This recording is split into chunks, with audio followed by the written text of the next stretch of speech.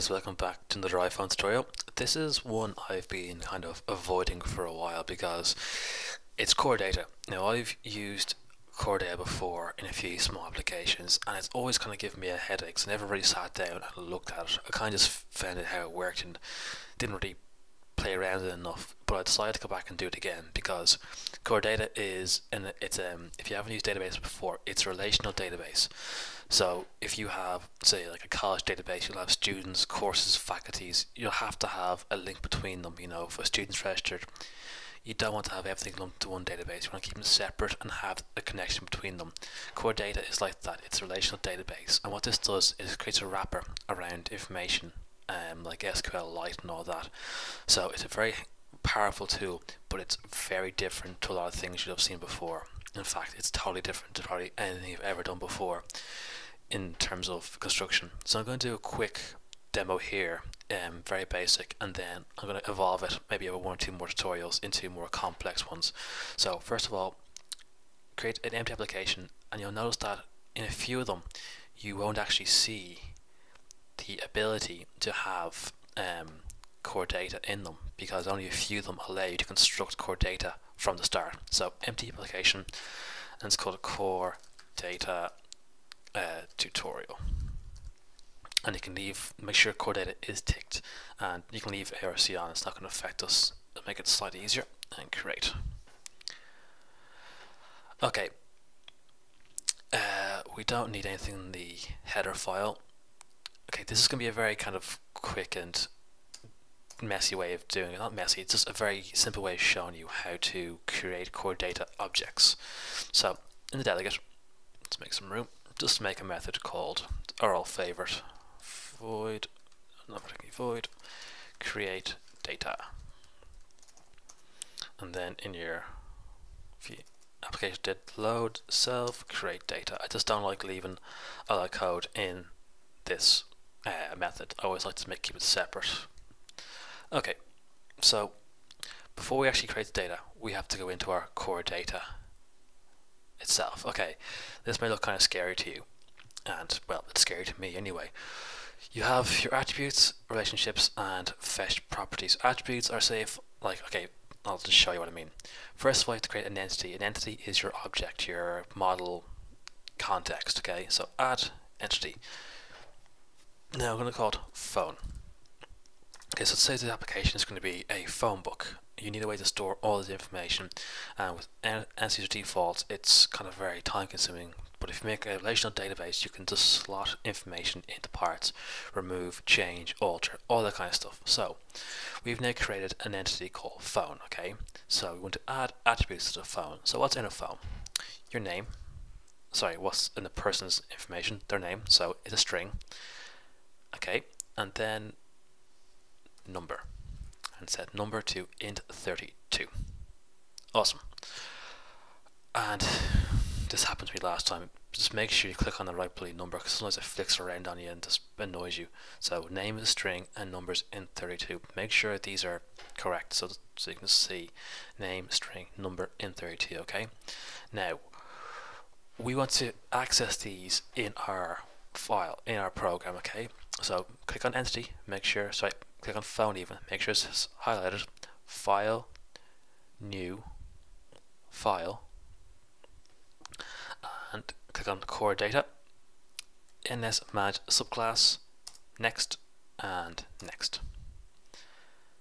Now we're going, what's this? Okay, what this is doing is this has automatically mapped the this entity for us into two files. So see, the, the phone is now a core data object, It's proper, uh, set our name and number for us and has made them into mutable um, entities for us to use in application.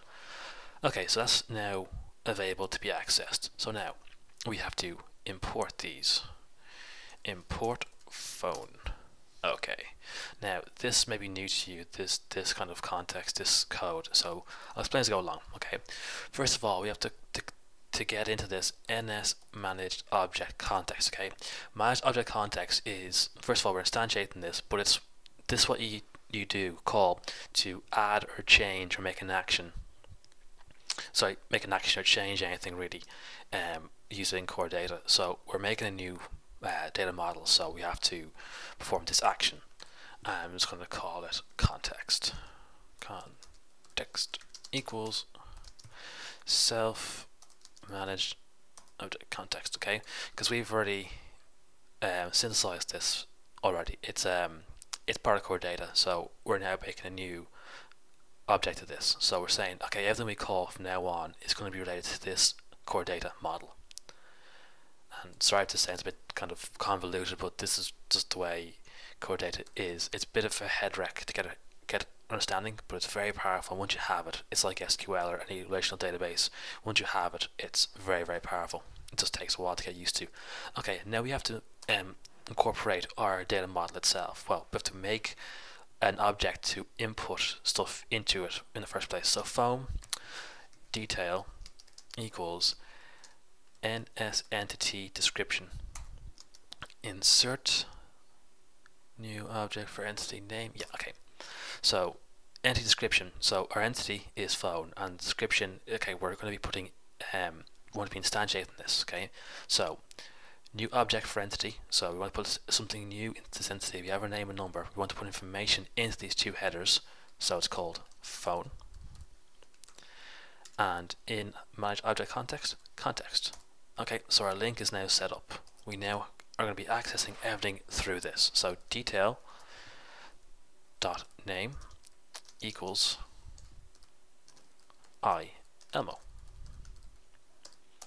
and detail dot number equals don't forget we set this to be a ns number not an int so we can't just um, do it that way so ns number number number with int um, let's see let's do an Irish number three five three one one one two two two three three four four it's not really an Irish number but you get the idea okay I probably too many numbers int 32 when it goes up to a certain amount. Yeah, there we go. I think 10 million is as int 32 goes. I'm not too sure exactly. Could be 100 million. I'm not going to count that. Okay. Now we have to make an NS error just to make sure it'll check if it's working. NS error. So if context save and error. So if there is an error, so say something goes wrong, the problem with core data is that if you have a problem early on here and it crashes without an error checker, it won't tell you what the error is because it's not an Xcode problem, it's a core data problem. So it'll give you a SIGABRT error and it'll drive you absolutely insane because it won't tell you what the problem is.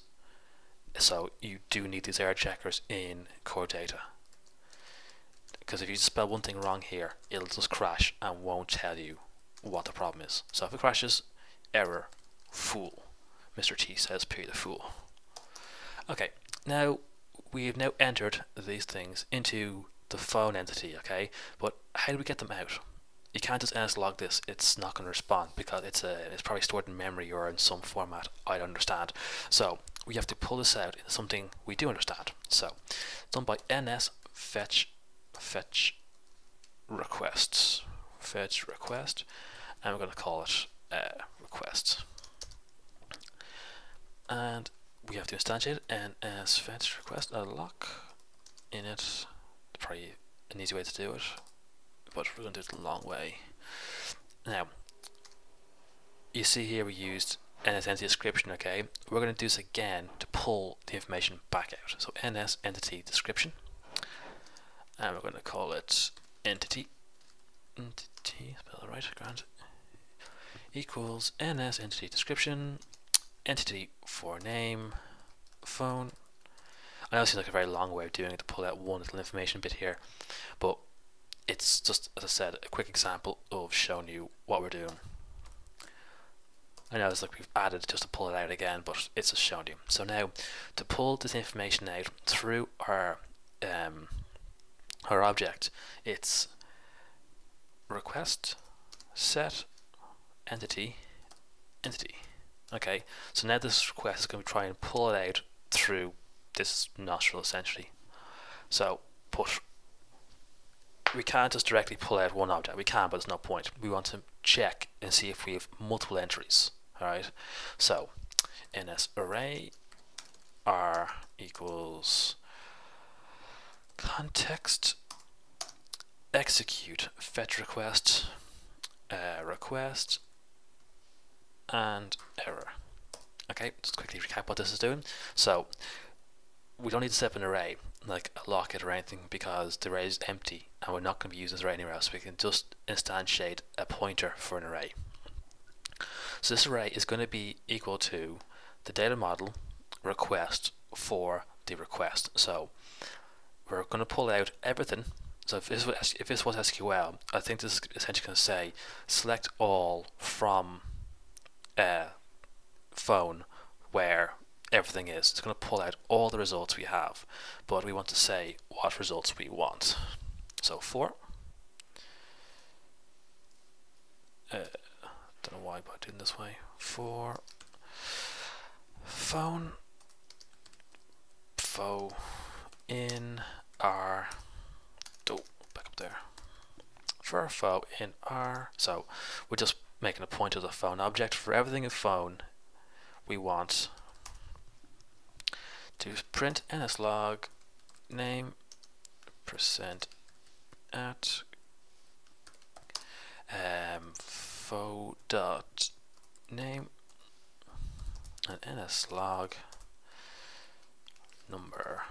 And because it's ns number not an int we still do our string typecast fo dot number you try and cast an int it'll give out to you okay we're going to build and run excuse me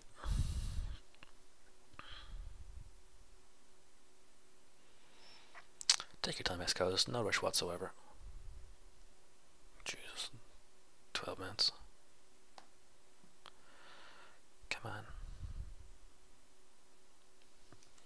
And as you can see here, we are printing out our core data objects.